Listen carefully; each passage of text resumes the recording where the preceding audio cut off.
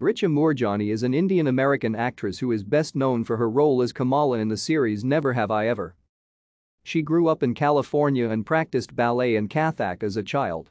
Her family managed a Bollywood music band. She played a guest role in several television shows including The Mindy Project, NCIS, Los Angeles and 911, before portraying one of the lead roles in Never Have I Ever, which was also co-directed by Kaling. Richa plays the main character's cousin, Kamala, in the series. She auditioned for Never Have I Ever through an open casting call.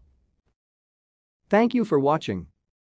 Like and subscribe if you would like to view more of our videos. Have a nice day.